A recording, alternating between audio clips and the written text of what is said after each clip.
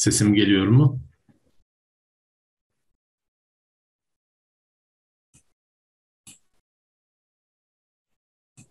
Evet. Tamam, güzel. Bu akşam size arkadaşlar bir tanıtım dersi yapacağım. Ee, tek uzem kurum altına arkadaşlar burada ölçme ve değerleme ile ilgili bir ön bir ders yapacağız tanıtım niteliğinde kuruma yönelik. Arkadaşlar bu dersin sonunda siz eğer kuruma kayıt yaptırırsanız e, Yusuf Kasap Hoca ile kazanın şeklinde bir kodla %20 indirim hakkına sahip olacaksınız. Evet.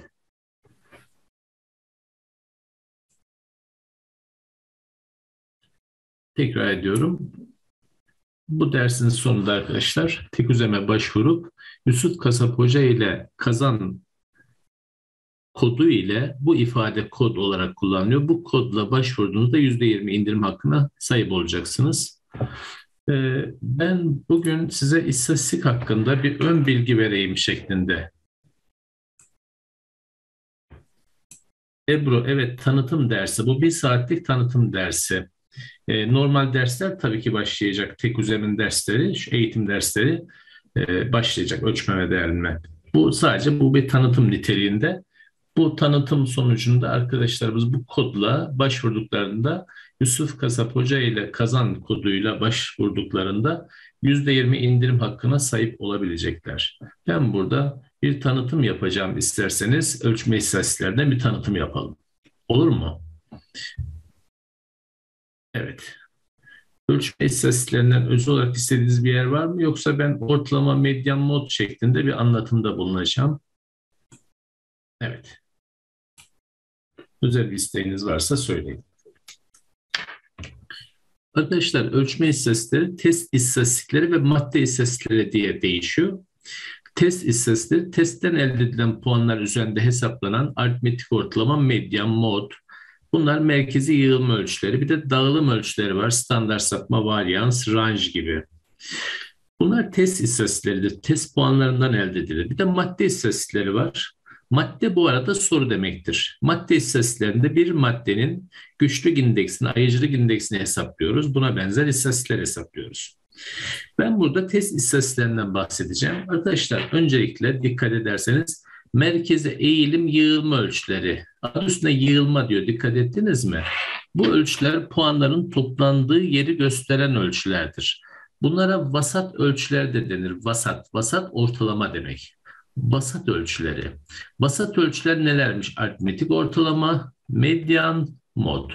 Bunların adı yığılma ölçüleridir. Neden yığılma denmiş biliyor musunuz? Puanların toplandığı yeri gösteriyor bu ölçüler. Mesela ortalama medyan mod yüksek çıkmışsa puanlar yüksek civarda yığılmış oluyor. Grup başarılı oluyor. Eğer düşük çıkmışsa düşük yerde yığılmış oluyor. Grup başarısız oluyor. Orada da ortada çıkmışsa başarı orta düzey oluyor. Yani yığılma ölçüleri grubun neyi hakkında bilgi verir biliyor musunuz? Grubun başarısı. Çünkü puanların nereye yığıldığını söylediği için yığılma ölçüleri bize neyi veriyormuş? Grubun başarısını. Evet. O halde yığılma ölçülerden ortalama medyan mod ele aldığımızda ortalama duyarlı, medyan duyarsız, mod duyarsız. Bu ne demek? Bunu açıklayalım. Öncelikle birazdan ortalamanın nasıl hesaplandığını göreceksiniz. Ortalamanın hesaplanması şöyle. Bütün öğrencilerin puanlarını topluyoruz, öğrenci sayısına bölüyoruz. Zaten puanların ağırlık merkezi oluyor. Herkesin puanını topluyoruz, kişi sayısına bölüyoruz. Medyana gelince göreceksiniz puanları sıraya koyuyoruz. Bir baştan bir sondan, bir baştan bir sondan çizip ortada buluşturuyoruz. Arkadaşlar medyanı bulmak için baştan yarıya geldiğinizde bulabilirsiniz. Sondan da yarıya geldiğinizde bulabilirsiniz. Ortalama herkesin bilgisini içeriyor. Medyan grubun yarısının bilgisini içeriyor. Yani öğrencileri baştan yarıya gelseniz de medyanı bulursunuz, sondan yarıya gelseniz de. O zaman burada en çok bilgi içeren ölçü aritmetik ortalama. Büyüktür medyan ölçü olarak. Yani bilgi içermesi açısından bilgi içermesi. Ne demek bilgi içermesi? Ortalamada bütün öğrencilerin puanı hesaba katılıyor. Medyanda yarısı yetiyor. Mod Mod en çok tekrar eden ölçümdür. 3 kişi 70 alır, mod 70 olur. 2 kişi 50 alır, mod 50 olur. Bu nedenle 3-5 kişinin bilgisini içerici en az bilgi içeren moddur. Demek ki burada en çok bilgi içeren aritmetik ortalama sonra medyan sonra mod. İşte bu duyarsızlığın sebebi bu. En duyarsız bu. Aslında duyarlılık, duyarsızlık ne demek? Arkadaşlar herhangi birinize 5 puan fazladan verdiğimde bunlardan hangisi kesin değişir desem, bakın size sınav yaptım, birinize sadece 5 puan fazla verdim. Birinize 5 puan fazla verdiğimde hangisi kesin değişir bu ölçülerden diye sorduğumda tabii ki aritmetik ortalama kesin değişiyor. Çünkü bütün ölçümler hesaba katılıyor. Bu nedenle duyarlı oluyor. Yani değişime kesin tepki veren ölçü aritmetik ortalama. Bu nedenle duyarlıdır. Medyan sıra bozulmazsa medyan değişmez. Moda da denk gelmeyebilir. Yani herhangi bir kişiye 5 puan fazla verdiğinde ya da 10 puan fazla verdiğinde kesin değişen ölçü arkadaşlar aritmetik ortalamadır. Medyan değişebilir, değişmeyebilir. Mod değişebilir, değişmeyebilir. Bu nedenle kesin değişen aritmetik ortalama olduğu için duyarlı ortalamadır diyoruz arkadaşlar. O zaman burada en çok bilgiyi içermesi duyarlı olmasına sebeptir. O halde biz işimizi aritmetik ortalamayla başladığımızda aritmetik ortalama puanların ağırlık merkezidir. Neymiş? Puanların nesi? Ağırlık merkezi. Neden ağırlık merkezidir? Çünkü puanları toplayıp kişi sayısına böleriz. Puanlar toplam bölü kişi sayısı aritmetik ortalamadır. En çok bilgi içeren ortalamadır. Bu nedenle duyarlıdır. Yani aritmetik ortalama duyarlıdır. Duyarlı olunca ne oluyor diye sorarsanız şöyle oluyor. Mesela sıfır alan çok etkiliyor, yüz alan çok etkiliyor. Tüm uç değerlerden çok etkilenir. Bu arada uç değer nedir biliyor musunuz? Uç değer puanların toplandığı yerin uzandaki birkaç değerdir. Mesela puanlar 10-30 arasında yığılmıştır. Bir kişi 100 almıştır. Bir kişi 100 almıştır. Uç değer 100'dür. Veya puanlar 70-100 arasında yığılmış. Bir kişi 5, bir kişi 10 almış. 5 ile 10 uç değerdir. O zaman uç değer ne demekmiş? Puanların yığıldığı yerin uzandaki birkaç değer uç değerdir. Bu nedenle arkadaşlar dikkat edin. Puan diyorum. Bakın örnek veriyorum. 1, 3, 91, 92, 93, 94, 95 olsun. Burada baktığımızda, burada baktığımızda arkadaşlar dikkatle izleyin. Burada 1 ile 3 uç değerdir. Çünkü yığılma 90 civarında. Aritmetik ortalamayı hesaplasak burada kaç çıkar biliyor musunuz? Yaklaşık kaç çıkar? 70 çıkar. Yani uç değerler ortalamayı aşağı çekti. Ama medyana bakacak olursak hemen bakalım medyana. Bir baştan bir sondan, bir baştan bir sondan, bir baştan bir sondan çizdim 92 medyan. Medyan uç değerlerden etkilenmedi çünkü duyarsız ama aritmetik ortalama uç değerlere saptı, düştü. İşte böyle uç değerlerin olduğu dağılımlarda en iyi merkeze eğilim ölçüsü nedir diye sorarlarsa cevap şu. Medyan İyi bir merkeze eğilim ölçüsü olmak puanların toplandığı yeri gösterebilmekten geçer. Yığılmanın olduğu yeri iyi bir şekilde söyleyen ölçü iyi bir merkeze eğilim ölçüsüdür. O zaman burada yığılmayı kim daha iyi söylüyor? Ortalama mı medyan mı? Tabii ki medyan. Bir dağılımda uç değer var ise en iyi merkeze eğilim ölçüsü neymiş? Medyan. İşte uç değerlerin bulunduğu dağılımlara biz çarpık dağılımlar diyoruz. Çarpık dağılımlarda en iyi merkeze eğilim ölçüsü neymiş? Medyan. Çünkü çarpık dağılımlarda uç değerler vardır. Uç değerler ortalamayı saptırır. Ortalama alıp başını gider uç değere doğru. Yığılmanın olduğu yeri terk eder. Terk etmeyen medyandır. O zaman arkadaşlar çarpık dağılımlarda en iyi merkeze eğilme ölçüsü medyan diyeceğiz. Modu dikkate almayın. Mod çok salaş bir ölçüdür. Moda güven olmaz. Çünkü grup başarısını yansıtmaz. Ortalama 20 iken mod 80 olabilir. 3 kişi 80 almıştır. Ortalama 70 iken mod 30 olabilir. 2 kişi 30 almıştır. Denk gelir en çok tekrardan olarak. Mod tesadüfi olarak değer alıyor. Kafasına göre takılan bir ölçü grubun başarısını yansıtmaz. Biz daha çok eğitimde aritmetik ortalamayla medyan kullanırız. Mod Mod tıpta kullanılır. Sınıflama ölçeğindeki veriler için kullanılır. En çok tekrardan vaka veya eğitimde deriz ki en çok tekrardan disiplin sorunu deriz gibi. Yani sınıfı değişkenler için kullanılır. Biz puan üzerine çalıştığımızda ortalamayla medyan kullanırız. Arkadaşlar uç değerler yokken ortalama iyi bir merkeze eğilim ölçüsüdür. Ama uç değer varken en iyi merkeze eğilim ölçüsü medyandır deriz. Ortalama çok duyarlıymış. Bakın ortalamanın hesabına baktığımızda puanları topluyoruz. Bölü kişi sayısı diyoruz. Evet puanlar toplamı gördüğünüz gibi 30. Kaç kişi var? 1, 2, 3, 4, 5, 6 kişi. Buradan sonucu 5 bulduk. Bu puanların ağırlık merkezi oldu. Diğer bir örneğe baktığımızda arkadaşlar takip ediniz. Bakın arkadaşlar burada not var, notlar var, sınavdan alınan notlar ve frekans. Ben bu seriye basit seri diyorum. Şu anda bu serinin adı basit seridir. Basit seride arkadaşlar puanlar sıralı olarak verilir. Bu basit seriyi frekans serisine dönüştüreceğiz. Frekans serisi.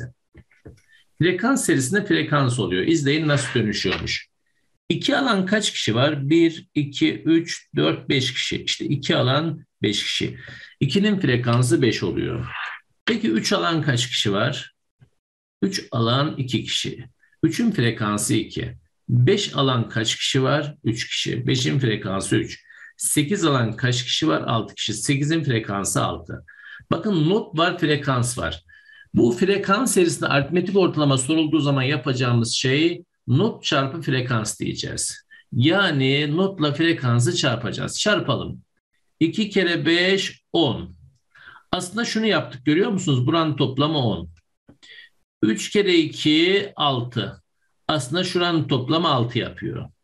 5 kere 3 15 görüyor musunuz? Buranın toplamı 15.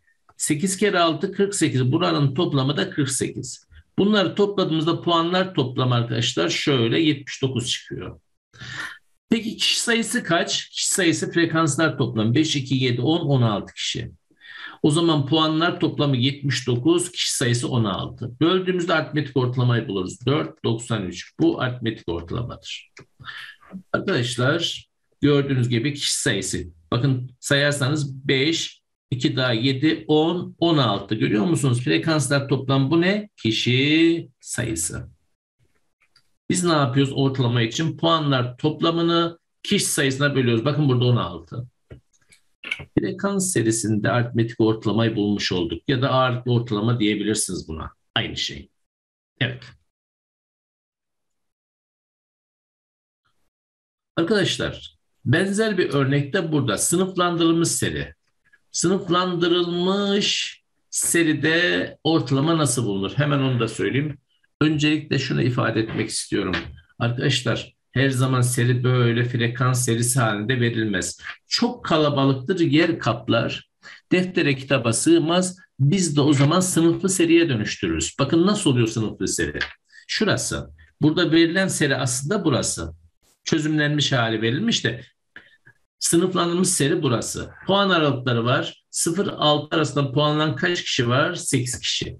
7-13 arasında puanlanan kaç kişi var? 6. 14-20 arası puanlanan kaç kişi var? 4.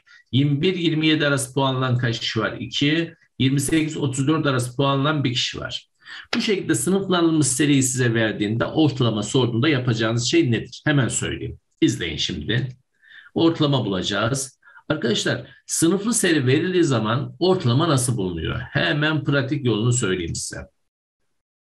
Rengi şöyle belirgin hale getiriyorum.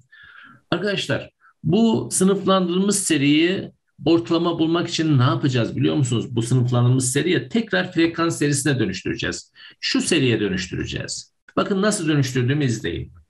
Frekans aynen kalsın. Tamam mı? Frekans aynen kalsın. Sadece puan aralıklarının ortasını alacağız. 0 ile 6'yı toplayıp 2'ye böldük. 3. Yani buranın puan değeri 3 gibi düşünebilirsiniz. Ya da not 3 diyebilirsiniz. Bunun mantığı ne biliyor musunuz? 0 ile 6 arasında puanlanan 8 kişi var. Bunların kaç aldığını bilmiyoruz. Bu 8 kişinin puanları ortalamasının 0 ile 6'nın ortasına yakın olma ihtimali en yüksektir. Çünkü doğada her şey merkeze yığılır. Mantığı bu. 7 ile 13'ün ortası topla 2'ye böl. 20 bölü 2 10. 14 20'nin ortası 34 bölü 2 17. 21 27'nin ortası topladık. 2'ye böldük 48 bölü 2 24. Topladık 62'ye 2'ye böldük 31. İşte puan var, frekans var veya not var, frekans var. Ne yapacağız? Az öncekinin aynısını yapacağız. Çarpıyorduk. 3 çarpı 8 24. 10 çarpı 6 60. 17 çarpı 4 68. 24 çarpı 2 48. 31 çarpı 1 31. Bunları topluyoruz. Puanlar toplamı 231 yaptı. Bölü kaç kişi var? Frekanslar toplayacağız. 8, 6, 14, 18, 20, 21 kişi görüyor musunuz? Kişi sayısı da 21. Bunu böldüğümüzde 231'i 21'e bölüyoruz. 210 bölü 21 olsa 10 olur. 231 olunca bir 21 daha var 11 tane. Dolayısıyla aritmetik ortalama 11 çıktı. Bu sınıfı seride ortalama bulmuş olduk. Fakat bu kesin değil. Bu kesin bir ortalama değeri değildir. Çünkü yaklaşık değerlerden hareket ettik. Orta noktalar aldık ya. Arkadaşlar sınıflı seride bulduğumuz aritmetik ortalama kesin değer değil yaklaşık değerdir. Başka da çareniz yok. Yaklaşık değer olarak ortalama bulmuş olursunuz. Evet. Ortalama böyleydi. Arkadaşlar ağırlıklı ortalama diyor. Dikkat ettiniz mi? Ağırlıklı ortalama diye bir şey yok. Bildiğiniz ortalama. Adına ağırlıklı ortalama koymuşlar.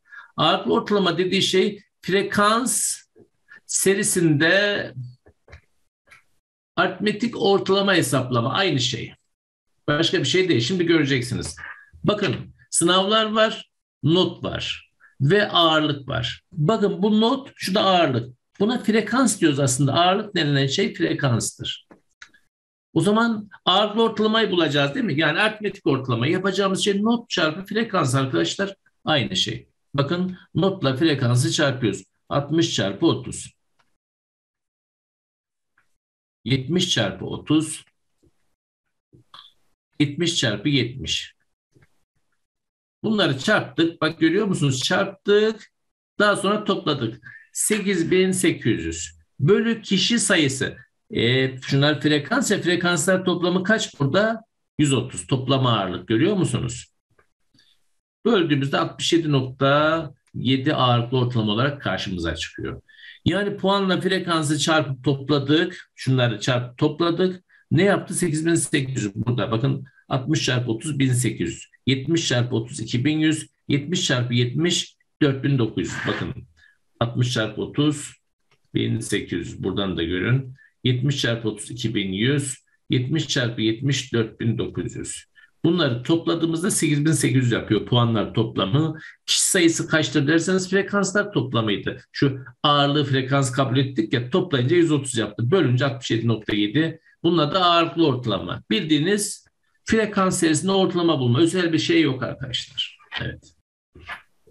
Ağırlıklı ortalama da bildiğiniz ortalamaymış. Onun için özel bir şey yok.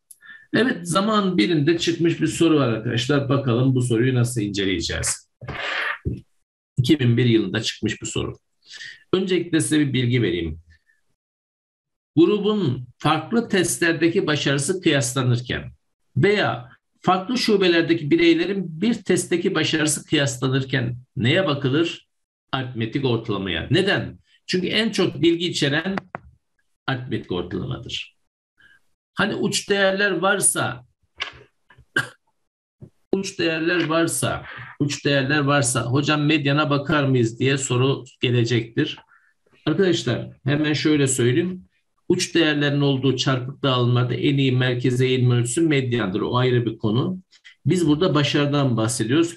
Başarıda her durumda aritmetik ortalamaya bakılır. Çünkü en çok bilgi içeren aritmetik ortalamadır. Elif sorunu sorabilirsin buradan yaz. Parmak kaldırmışsın galiba. Yazabilirsin sorunu. Ee, bir arkadaşınızın sorusu var. Ona bir yanıt verelim eğer varsa tabii. Yanlış da basmadıysa onu bekliyoruz. Evet sorabilirsin Elif. Hadi yazdıysan şuradan bakayım. Bazen uygulamadan direkt gelmiyor. Şöyle çektim aşağı. Yazdın mı Elif? Evet. Bir şey gelmedi. Ben yine devam edeyim olursa. Kader Kader bu tanıtım dersi, asıl ders kurum e, ha, kurumdan öğrenebilir misiniz? Program onlar yapıyor da şu an ben tam olarak kesin bir tarih söyleyemeyeceğim. Arkadaşlar ses sorunum var. Bir saniye açtım. Bir dakika sonunacı açtım ha.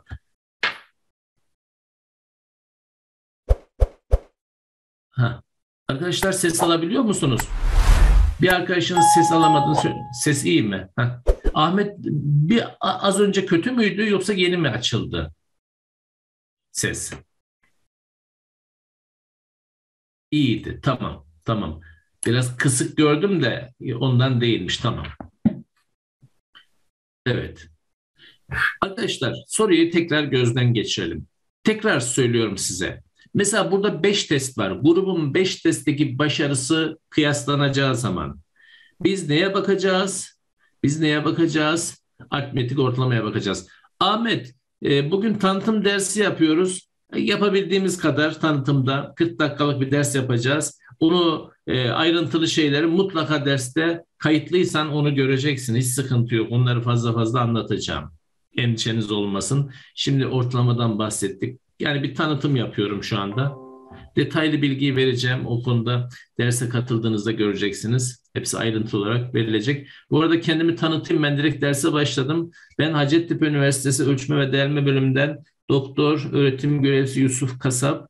E, bu dersi arkadaşlar yaklaşık 30 bin saatin üzerindedir anlatıyorum. Türkiye'nin her tarafta anlattım. Ankara'da anlatıyorum. Her yerde anlatıyorum. Yani sizin gibi e, öğretmen adaylarının hemen hemen 50 binin üzerindesine ders anlattım yıllardır. 18-19 senedir bu işi yapıyorum. Yayın olsun, şey olsun, ders olsun en çok ben bu dersi yıllardır her yerde anlatıyorum. Bu tecrübemden dolayı katılan arkadaşlarınızın hepsi de başarılı oluyorlar. Hiç sıkıntı olmuyor. Ben lisansım Hacettepe İstatistik, Master ve Doktora arkadaşlar eğitimde ölçme ve değerleme. Lisansım istatistik olduğu için sözelci de olsa ben ona öğretiyorum. Nasıl öğretiyorum? Dört işlem bilsin yeter. Başka bir şeye gerek yok. Bazen toplama çıkarma bile yetiyor. Çarpma bölme o kadar sorun olmuyor. Onun dışında yaptırabiliyorum. Yani çok hani öyle formüle gerek kalmadan, formül kullanmadan öğretiyorum. Bunu bilen biliyor zaten. Beni tanıyan tanıyor. Tanımayan arkadaşlar da e, zaman içinde görecekler zaten nasıl öğrendiklerini, vakıf olduklarını görecekler. Biz şu soruya bir bakalım oldu mu Ahmet? Arkadaşlar grubun en başarılı olduğu test diye sormuş. Neye bakacağız? Aritmetik ortalamaya. Ortalaması en yüksek olan test bakıyoruz. Birinci test. Birinci testte grup nasıl diyoruz? Grup en başarılıdır. Grubun en başarısız olduğu test dersek de ortalaması en düşük olan ikinci test. Grup en başarısızdır. Buna ek olarak arkadaşlar grubun başarısı için biz aritmetik ortalamaya baktık doğru. Ortalama başka ne işe yarıyor? Hemen söyleyeyim. Testin zor mu kolay mı olduğu hakkında bilgi veriyor. Mesela grubun en başarısız olduğu durumda ortalama düşer. Başarılı olduğu durumda da artar. O zaman grubun en başarılı olduğu test en kolaydır. En başarısız olduğu test de en zordur. O zaman şunu bilin. Ortalama arttıkça test kolay, azaldıkça test zor. Oldu mu? O zaman diyeceksiniz ki hocam bu testin zorluğunu, kolaylığını grup mu belirliyor? Evet, grup belirliyor. Grubun başarısı yüksekse, yani ortalama yüksekse ona kolay geliyor. Başarısı düşükse test ona zor geliyor. O zaman biz ortalamaya bakarak grubun başarısı hakkında yorum yaptık mı? Yaptık. Bir de testin zor mu kolay mı olduğu hakkında yorum yaptık mı? Yaptık. Bu şekilde düşünebilirsiniz arkadaşlar. Bu tablo ile ilgili başka ne yorum yapabiliriz? Şu yorumu yapabiliriz. Size diyebilir ki birinci testte en çok hangi puan alınmış? Birinci testte 75. Mod en çok tekrar eden puandır. Örneğin bir sınıfta en çok 70 alan var ama en yüksek 90 alan var. Mod kaçtır? Mod 70'tir. En yüksek puan değil, en çok tekrar eden. Unutma. Mesela ikinci testte en çok tekrar eden puan kaç? 55. Bu en yüksek puan değil, en çok tekrar eden. Üçüncü testte 40. Dördüncü testte 25. Beşinci testte kaç? 40. Bu şekilde düşünebiliriz. En çok tekrar eden dediği zaman arkadaşlar aklımıza ne gelecek? Mod gelecek. Bir de şu bilgiyi vereyim. Arkadaşlar mesela bu çarpıklıkları mutlaka derste anlatacağım. Şu an ön bilgi veriyorum. Bakın sola çarpık. Çünkü nereden çarpmışız? Soldan. Araba soldan çarpmış diyebilirsiniz. Sola çarpık. Bunların detaylarını sonra göreceksiniz. Ne taraftan çarpmışız? Sağdan çarpmış araba. Sağa çarpık. Bunları güzel yorumlayacağız. Şimdi çarpık dağılımlarda uç değerler vardır. Uç değerler nerede? Bakın burada uç değer bu taraftadır. Dağılım ne tarafa çarpsa uç değer oradadır. Burada da uç değer bu taraftadır. Uç değer biliyorsunuz ortalamayı saptırır. Uç değerler oldu mu en iyi merkeze eğilim ölçüsü nedir derseniz arkadaşlar medyandır. Peki uç değerleri çıkarırsanız ne olur dağılım? Dağılım arkadaşlar simetrik olur. Demek ki çan eğrisinde uç değer neden çıkarılıyor? Çünkü ortalamayı saptırdığı için. Sıfır alanı ve yüz alanı niye çıkarıyorlar? Ortalamayı saptırdığı için. Aritmetik ortalama kullanıldığı için çan eğrisinde uçlar çıkarılır. Uçlar çıkarınca ne oluyor biliyor musunuz? Bu çarpık dağılımlar hemen neye dönüşüyor? Simetriye. İşte simetrik dağılım. Şu dağılım simetriktir. Simetrik dağılımda aritmetik ortalama eşittir medyan. O da eşittir neymiş? Mod. Unutmayın. Dağılım simetrikse ortalama medyan mod birbirine eşittir. O zaman bunu da sormuşlar. Burada hangi testin puanları simetrik dağılmıştır diye sormuşlardı o zaman gelen soru. Ortalama medyan mod birbirine eşit. Hangi simetrik dağılmış? Üçüncü testin puanları simetrik dağılmıştır diyoruz. Simetrik dağılım hakkında da yorum yapmış olduk. Arkadaşlar şu bilgiyi de vereyim hazır buradayken. Standart sapma nedir? Ne demek istiyor? Standart sapma şu demektir. Standart istatistikte ortalama demek. Standart sapma ortalamadan sapma demektir. Mesela herkesin boyu aynı olsa standart sapma sıfır çıkar. Boy farkları arttıkça standart sapma artar. Boylar yaklaştıkça azalır. Yani bir sınıfta herkes uzun boyluysa standart sapma düşüktür. Grup homojen, herkes aynı boyda.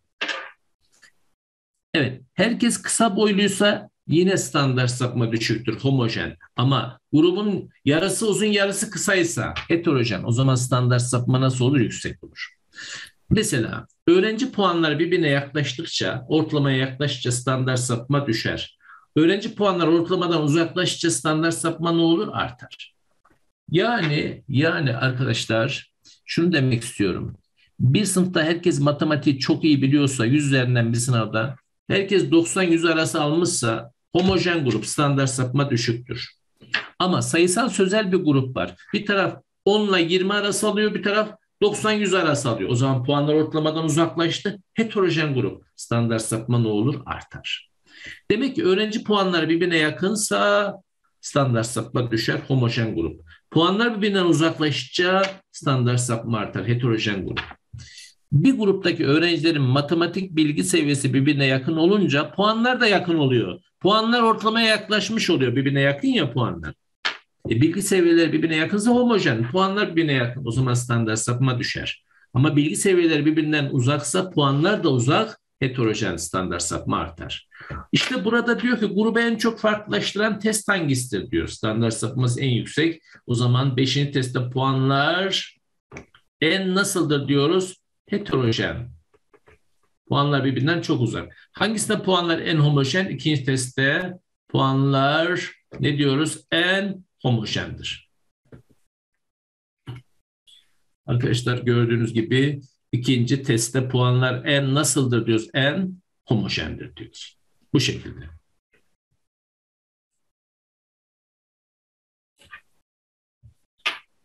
Şimdi sola sağa çarpıklığı bilmek için Ahmet şunu bileceksin. Ortalamayla medyanı karşılaştıracaksın.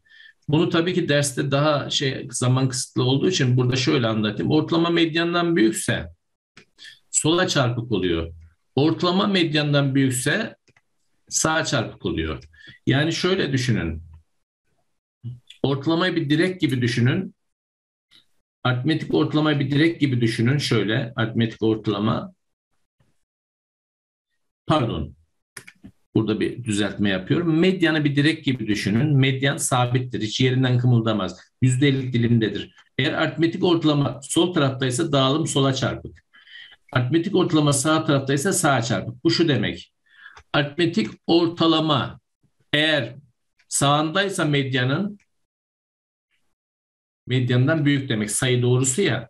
Bu taraftaysa o zaman sağa çarpık deriz. Aritmetik ortalama medyandan küçük solundaysa ne tarafa çarpık deriz? Sola çarpık deriz. O zaman şimdi Ahmet bak şimdi. Bak o dediğini hemen çözelim pratik olarak. Ben şurayı sileyim rahat göresin. Bak. Arkadaşlar ne tarafa çarpık olduğunu soruyor arkadaşınız. En pratik yoldan söyleyeyim. Burada ortalamayla medyanı karşılaştırıyoruz. Büyük mü küçük mü medyandan küçük sola çarpık. Ortalamayı medyanla karşılaştırıyoruz sola çarpık. Üçüncü zaten simetrik. Dördüncü ortalama medyandan büyük. O zaman ne tarafa çarpık? Sağa. Beşinci ortalama medyandan büyük. Ne tarafa çarpık? Sağa. Görüyor musunuz? Mod burada rol almaz Ahmet. Mod çarpıklığı belirleyen bir unsur değildir. Çarpıklığı belirleyen ortalamayla medyandır. Bilgin olsun. Tamam. Mod güvenilir bir ölçü değildir. Biz ortalamayla medyanı karşılaştırırız. Dağılımın ne tarafa çarpık olduğunu görmüş oluruz. Grafikleri yorumlamayı tabii ki detaylı olarak vereceğim ama arkadaşınız bunu sorduğu için şöyle söyleyeyim. Bakın sola çarpıkta çoğunluk sağda yüksek puan civarında yığılmış. Sola çarpıkta grup başarılı. Bunu öğreneceksiniz. Sola çarpık ya sağa yığılmalı. Yüksek puan yerde yığılmış. Evet.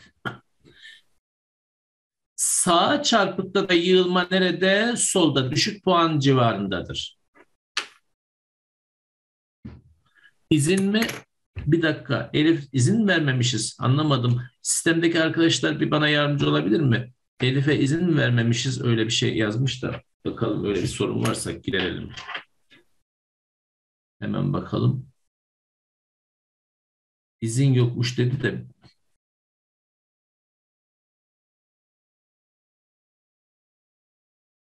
Hmm.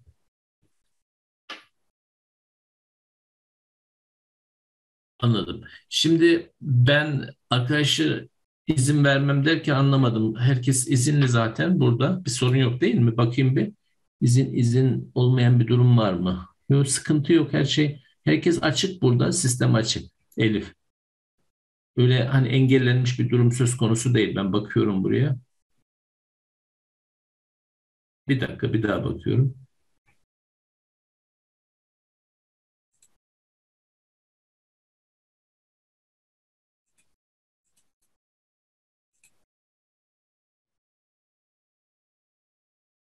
Sıkıntı yok Elif senin için. Hiç problem yok. Yani buraya baktım da her şey yolunda. Tamam. Evet arkadaşlar. Tekrar ediyorum. Sola çarpı bir dağılımda, sola çarpı dağılımda yığılma sağda. Yüksek alan çok kişi var, grup başarılı. Sağ çarpıda da yığılma solda. Yani yığılma çarpıklığın zıt yönündedir. Sola çarpsa sağa yığılmalı, sağa çarpsa sola yığılmalı. Sola çarpta sağa yığılma varsa grup başarılı test kolay deriz. Sağ çarpta yığılma solda grup başarısız test zor deriz. Simetrikte de deriz ki arkadaşlar simetrikte de başarı orta düzey deriz. Bunları detaylı olarak göreceksiniz. Şimdi Ahmet bu sorduğun soruya istinaden şunu söyleyeyim dikkat et. Burada grupların başarılarını karşılaştırdık ya az önce. Çarpıklığı aklına sokma. Sakın öyle bir şey yapma. Grupların başarılarını kıyaslarken çarpıklık mantığı devreye girmesin. Onunla uğraşmayın. Şuna dikkat edin. Grupların başarısı derse ortalamaya bakın. O zaman çarpıklığı nerede kullanacaksınız? Grup içi başarısı. Çarpıklığı bir grubun içindeki başarı durumunu yorumlamada kullanacaksınız. Mesela birinci test sola çarpık. Bu ne demek? Çoğunluk ortalamanın üzerinde puan almış. Grup kendi içinde başarılı demek. Kıyaslamada bu çarpıklığa göre yapmayın. İşin içinden çıkamazsınız. Ortalama her şeyin göstergesi zaten. Sadece birinci testte grubun nasıl olduğunu söylüyoruz. Grup içinde ortalamanın üstünde puanlanan kişi sayısı daha fazla, yarıdan fazla. Bak yığılma sağda görüyor musunuz? Grup içi başarı iyi demek. Ama kıyaslamada ona gerek yok. Ortalamaya bakmanız yeterli. Evet. Bu şekilde. Bu tabii grafikler zaman içinde anlatılacak arkadaşlar. Mutlaka anlatılacak. Ondan yana endişeniz olmasın. Evet kalan zamanımızda hazır ortalamayı anlatmışken ortalamadan devam edelim. Bakın şöyle bir soru var. Bu soru tarzını ele alalım. Biraz büyüttüm görünsün diye. Arkadaşlar burada da soru sayısı verilmiş. Az önce soru sayısı yoktu. Çünkü niye? Niye soru sayısı yoktu? Sebebini hemen açıklayayım. Testlerin hepsinde 80 soru olduğunu söylüyor. Arkadaşlar bu sorunun orijinalinde her bir testte 80 soru olduğu, soru sayısının eşit olduğunu söylüyor. Bilginiz olsun. Burada testlerdeki soru sayıları eşit arkadaşlar. Çünkü vermemiş zaten soruda diyordu. Bak işte bakın arkadaşlar 5 farklı testte yanıtlar 80 üzerinden puanlanmış. Soru sayıları eşit demek testlerdeki. Ama şu örneğe bakarsanız biraz büyüteceğim çok gözükmüyor. Şimdi daha iyi görürsünüz diye. Şu örneğe bakarsanız arkadaşlar bu örnekte farklı olarak ne görüyorsunuz? Soru sayısı bakın. Ortalama verilmiş ve soru sayısı verilmiş. Buna göre mutlak başarı diye soracak. Unutmayın. Soru sayısı farklı olduğunda soru mutlak başarı diye sorulur. Soru sayısı eşitse zaten grubun başarısı diye sorulur. Anlaşıldı mı? Mutlak başarı da dese bir şey değişmeyecek zaten. Mutlak başarı sorulduğunda şunu demek istiyor. Soru sayısını eşitle demek istiyor. Nasıl yani? Hemen açıklayayım size. Dikkatle izleyin. Net bir şekilde görmenizi sağlayayım öncelikle. soru sayısı verilmiş, ortalama verilmiş. Birinci testte 40 soru var, ortalama 20. Bu şu demek. Testte 40 soru var, alınacak en yüksek puan 40 ham puan. Ortalama ne? 20 net. İkinci testte en çok alınacak puan 40, ortalama 30 net. Üçüncü testte en çok 100 alınır, ortalama 60 net. Dördüncü testte en çok 90 alınır, ortalama 60 net. Beşinci testte 45 alınır en çok, ortalama 15 net. Arkadaşlar Burada direkt ortalamaya bakarak yorum yapmak doğru olmaz, adil olmaz. Çünkü soru sayısı arttı mı haliyle ortalama artar. Soru sayısı azaldı mı haliyle ortalama düşer. O zaman ne yapacağız? Soru sayısını eşitleyeceğiz. Yani az önce ki çıkmış soru 2001 yılı sorusunda soru sayıları eşit olduğu için sadece ortalamaya baktık başarı için. Başarı için sadece ortalamaya baktık çünkü soru sayısı eşitti. Fakat burada eşit değil. O zaman ne yapacağız? Eşitleyeceğiz. Kaç soruda eşitleyelim? 100 soruda eşitleyelim. 200 soruda eşitleyin, 1000 soruda eşitleyin önemli değil. Mutlak başarı yüzdesi diye sorduğunda 100 soruda eşitlemek en mantıklısıdır. O zaman ne yapıyoruz? Mutlak başarı yüzdesi. Hemen eşitleyelim. 40 soruda ortalama 20 arkadaşlar. 100 soruda kaçtır? 2,5 katı. 50'dir. 40'da 20. Yarısı %50. Bak 40'da 20 %50. Bu oran ve orantıda sıkıntı yaşarsak şöyle yapın. Arkadaşlar ortalamayı soru sayısına bölün. Mutlak başarı yüzdesi aritmetik ortalama bölü soru sayısı. En mantıklısı bu. Otomatik olarak eşitlenmiş olur. İşte aritmetik ortalama.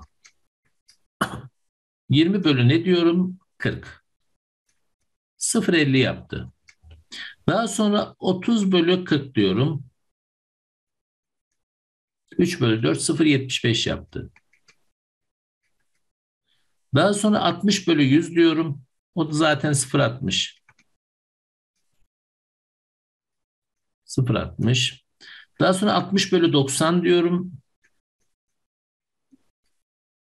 30 da sadece 2 bölü 0.66 yapar.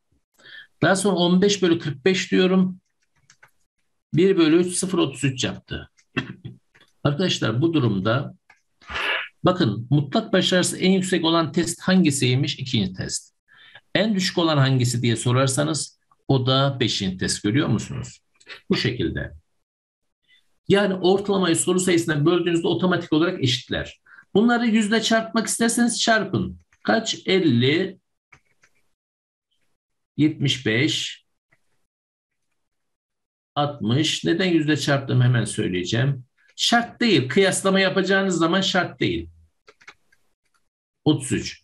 Arkadaşlar mutlak başarı yüzdesi denilen şey 100 soru için ortalama bul demek. Tekrar ediyorum. Mutlak başarı yüzdesi ne demek? 100 soru için ortalama demek. 40 soruda 20 ise 100 soruda nedir? 50. Görüyor musunuz? 40 soruda 30'da 100 soruda nedir? 2,5 katı ne yapıyor? 2,5 katı 75. 100 soruda 60 zaten. 90 soruda 60 ise 100 soruda 66.6 falan yapar. 45 soruda 15, 100 soruda kaçtır? 3'te 1, 33.3 yapar. Virgüllere at, yazmadım. Hani o aklınızda şey olmasın, soru işareti olmasın. Yani bunu yüzde çarptığınızda direkt mutlak başarı yüzdesinin değerini verir. Ama şunu söyleyeyim size arkadaşlar. Kıyaslama yaparken çarpmaya gerek yok.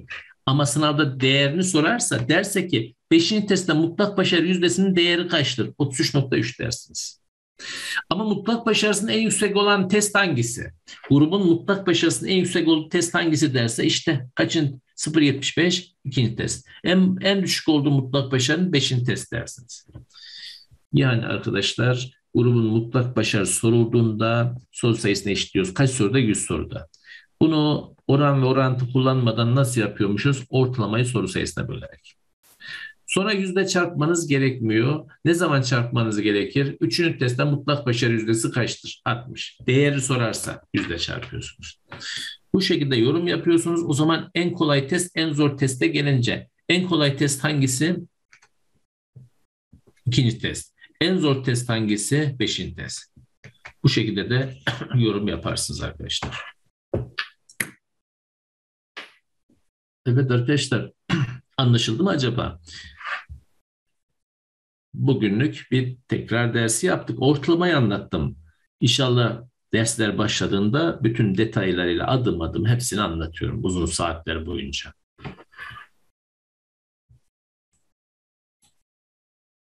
Bugün bir tanışmış olduk sizinle tanıtım dersinde. Evet arkadaşlar. Tekrar ediyorum. Tek üzerine başvurduğunuzda arkadaşlar Yusuf Kasap Hoca ile kazan kodu ile bu sözel kod ile %20 indirim kazanabilirsiniz. Dersleri takip edebilirsiniz. Derslerimiz daha başlamadı. Ölçme ve değerleme benim dersim. Başladığı zaman da oradan takip edebilirsiniz arkadaşlar. Bana sorunuz var mı?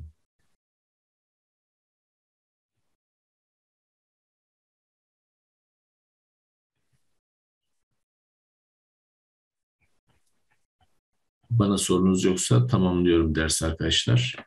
Hepinize iyi akşamlar dilerim.